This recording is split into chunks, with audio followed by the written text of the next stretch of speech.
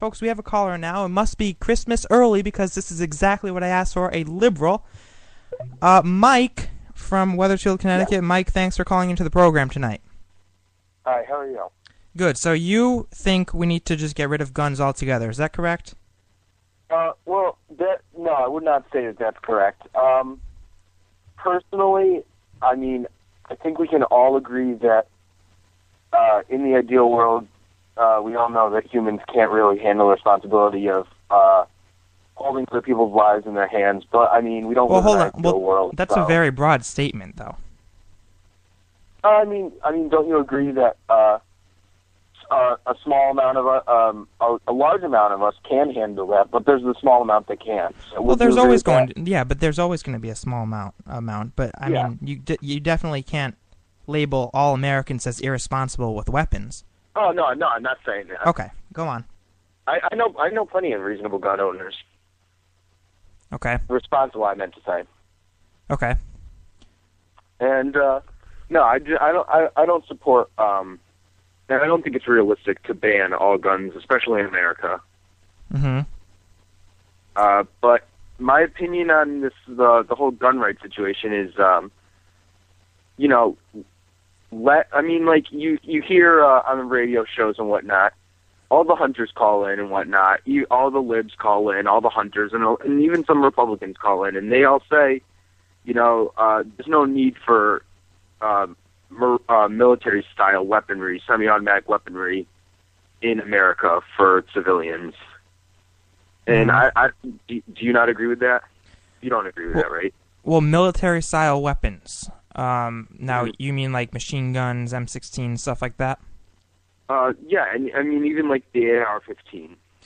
Well, let me let me tell you uh, my view on this. Okay. I think um, military style weapons, uh, things like M16s, I think should not be completely banned, but uh, be made um, very difficult to obtain. yeah. um, yeah. When you're talking about firearms, I don't think any new restrictions on firearms should be put in place. I don't think they should be made hard to get at all because we have statistics that show that other countries in the world that do that have their crime going up. Yeah. You understand that, right? Yeah. You can't argue with statistics. All right. Well, um, I uh, we for for those of you listening, uh, we got into a uh, me and me and Mike talked a little bit on Facebook the other day and uh, about uh, gun control. And Mike, you, if I remember correctly, you were saying that you just want bans or guns banned completely. No, I, I mean, I mean, have you changed your mind in the in past an- few days? yeah. I mean, I've had times. I've been reading. I've been looking at uh, facts and whatnot. I mean, and in the first place, I, it was never really a realistic idea to ban all guns. It would never happen. Well, not only is it unrealistic, um, it would hurt us. Yeah, I agree. All right. So, what do you think the solution to this uh, would be? I mean, President Obama he wants to put make uh, firearms uh, more difficult to obtain. Do you agree with that? Uh, I, I, I, um, the the part that I think needs to be addressed mostly is uh, the so-called uh, gun show loophole. You know, where uh, there's certain ways that to get around uh, the background, the like the required background checks of buying guns. Mm-hmm. Uh, I think that needs to be addressed for like for the most part because that's where you've heard the statistic that uh, an estimated 40% of guns are bought without background checks. Mm-hmm. Uh, that's where they cite uh, most of those gun buyings or gun purchases from is from uh, gun shows. All right. Well, then let's do let's do background checks. I mean, uh, I I don't really have a problem with that. Um, my problem is when politicians in Washington, uh, President Obama included, want to severely crack down on guns across the board. Not only military-style weapons, but uh, handguns too. That's where I have the problem. And I know you s- you support President Obama on some things, but do you support him on his position on gun control? I mean, it's it's like like I said, it's uh, I'm, there's gun control. Even though it's uh, specific, it is still very broad. I mean, that sounds crazy, but I mean, there's lots of different aspects of uh, guns, lots of different kinds, lots of different ways you can go about uh, controlling them. hmm And um, no, I, do, I mean, I don't support everything, but like certain uh, certain guns, like the civilian versions of the M16, uh, you know, like the AR-15 and other semi-automatic weapons, um, I think that those only hold their place in a very small part of American society. I don't think that it should be. They are readily available, and uh, I mean there are the uh, the steps you have to go through to get it, but you know, um, I don't think that anyone really needs one. And I, I mean, I understand the argument for uh, for handguns. Can I hold on? Can I? We're, we're talking about military style weapons here, right? Yeah. Okay. All right. Go on. And uh, I, but like as as I go on, I understand the uh, the argument for handguns, which is that they can be used for self defense, hmm and um, I understand the argument for. I I, I fully support um, leaving hunting rifles and shotguns in place, but Mhm. they're not changing anything on those because, I mean, in reality, how many mass shootings have occurred with hunting rifles? hmm like none. And uh, you know, it's I I I don't think that there really is a need for a 30 round magazine for a semi-automatic weapon. I don't see its place in America. I mean, I can see the handguns and I can see the right the hunting rifles and shotguns. And like uh, what um, Adam Lanza used, I mean, he used an AR-15 with 30 round magazines, semi-automatic rifle, and he had a uh, a semi-automatic Saiga 12 gauge shotgun, which is a military grade shotgun. I don't see the place in America for that. Okay. Well, that's why I think that if you take guns like that, military style weapons, um, I I mean I wouldn't necessarily ban those completely, um, because you still got Uh-huh. people that like collecting those and stuff like that. I mean, it's a very very small, uh, not not too small amount of people, but some people in America do like collecting those military style weapons. So for that reason, I would not get rid of those completely. You know, I wouldn't make those completely off limit to the off limits to the public, Yeah. but I would be uh, okay with doing background checks for those kinds of weapons and stuff like that. But uh, the problem I have, again, I can't stress this enough, is with the the simple handguns uh, that you carry around concealed for defense. Uh-huh. I don't think those should be um, taken away from us. I mean, we have the constitutional right um, to bear arms. Yeah, yeah, and I, I agree. I mean, obviously the, uh, the Constitution and uh, specifically in this case the Second Amendment, they apply a little bit differently. But I agree, we do have we do have that right. But the one, I mean, I don't support a handgun ban. But the thing is, it's like the thing that makes me question it is that handguns are used in too many of these murders, and they're the thing is, is they're semi-automatic and they have 10 to 15 round magazines unless you buy an extended magazine and uh, they're easily concealed. And i mean that's good for personal defense but it's also good for uh, the uh, shooter to have too. Yeah. Let, let me let me ask let me ask you a question because um, as you know, I, I actually don't know if you know this, but guns handguns are used 80 times more each year for defense than they are for killing. Let me ask you a question. Um, my my dad actually is uh, considering um, getting a uh, a pistol permit. Um, Uh-huh. Would you make it if you were in charge and you had Uh-huh. complete say over the gun laws? Would you make it any more difficult for him to get a a, a pistol uh, after the shooting than before? uh, i mean yeah i think i would i, I would uh, you you have to i'm not sure i'm personally i'm not sure how uh, background checks work i don't know what steps they go through but I was talking to a friend who lives in England, and as you know, they have pretty uh, tough gun laws over there. And uh, he was telling me that people are allowed to get guns in England, but they have to go through an extensive uh, background check. Uh, regard like they have to. He was telling me they have to. Um, they have to know that you have gun safes in your house, and that you'll keep the ammo and the gun separate. And um, they go through an extensive, long, long background check. I don't know how. I, I, I honestly don't know the process of Well, background checks in America. well, Mike, you know England's homicide rate is actually 16% higher than that of Switzerland, and Switzerland is one of the most peaceful places on earth. yeah. So I mean, maybe making uh, firearms but- more difficult to obtain isn't the answer. But Switzerland is also one of the least diverse countries in the world. So what does that have to do with anything? You don't think that when cultures collide, there's uh, a certain level of violence involved? I think there's a direct relation uh, between how strict gun laws are and the amount of violence that goes on in that area. I mean, Switzerland has uh, the highest amount of firepower per capita. And like I said, they're one of the most peaceful nations in the world. They have one of the lowest crime rates. Yeah, but And on the contrary, hold on, said- let me let me let me finish. On the Yeah, contrary, okay. Australia, um, I mean, in uh, in actually 1996, I believe was the year they uh, really started cracking down on guns. And I mean, they're they're seeing staggering statistics. I mean, assaults have gone up 8.6 percent since then. Armed robberies up 45 percent. I mean, the statistics are just um, on my side here. Uh, how many murders do they have compared to America there? I'm sorry, say that again. Do you know how many um, murders by gun they have?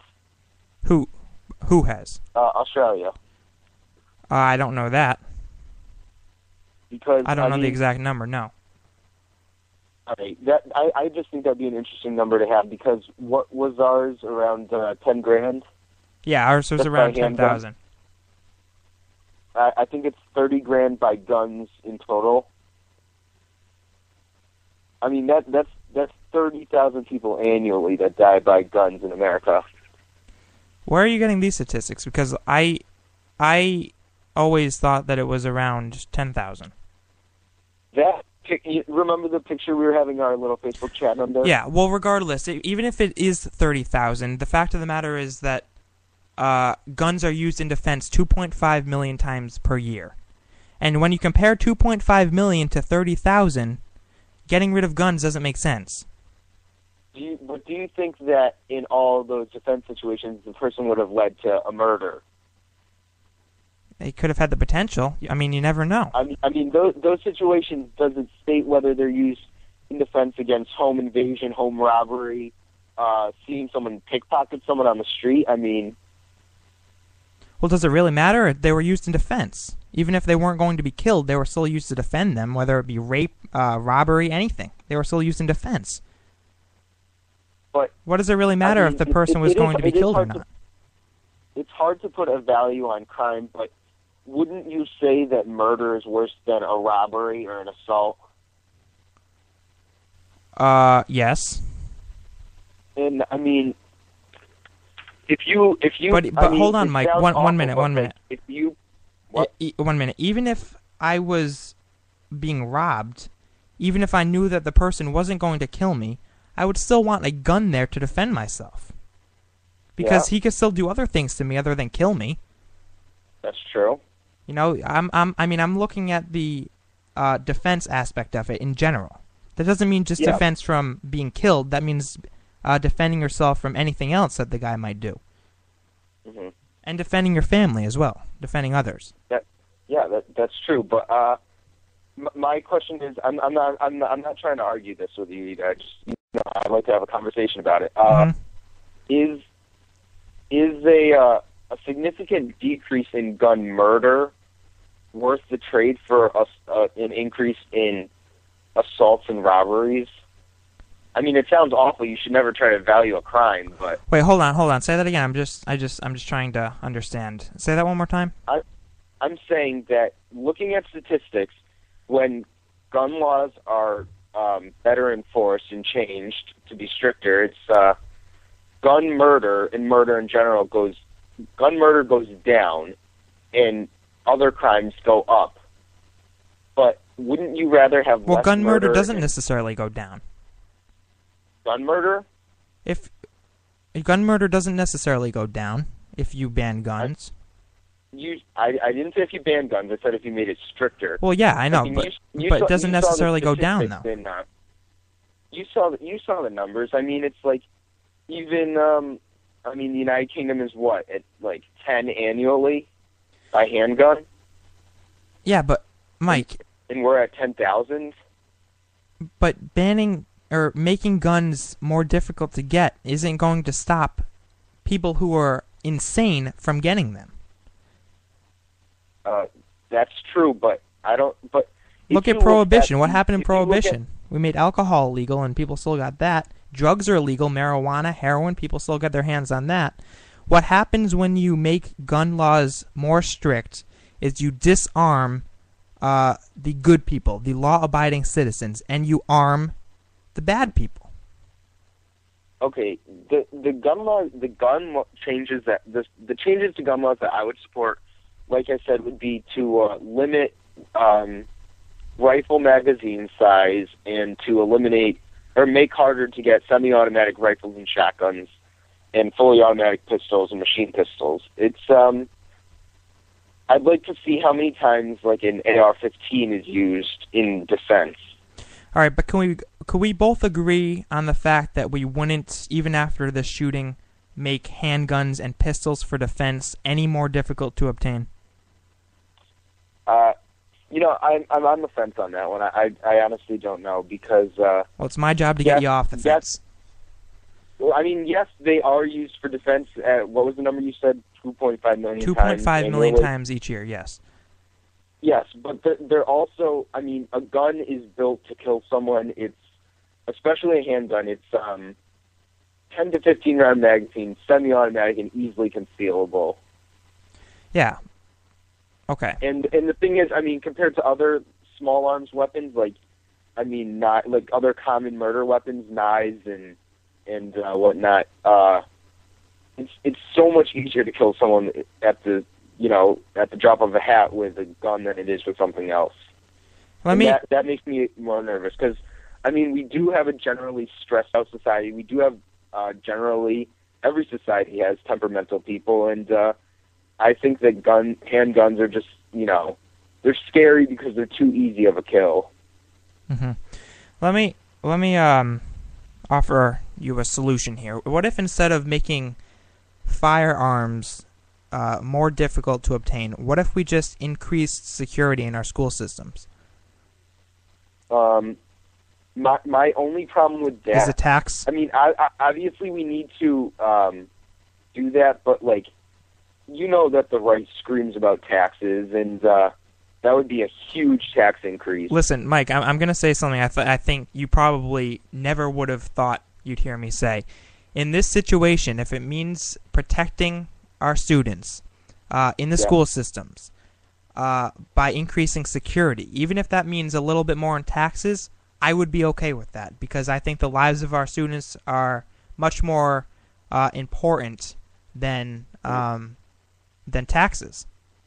Yeah, and but the other the other thing is about the uh, increased security is, I mean, look at where we've had shootings recently. We have shootings at malls. We have shootings at movie theaters, in schools, in colleges. If you start increasing security there, uh, think about it. Movie ticket prices go up. Uh, mall prices and all the stores in them go up.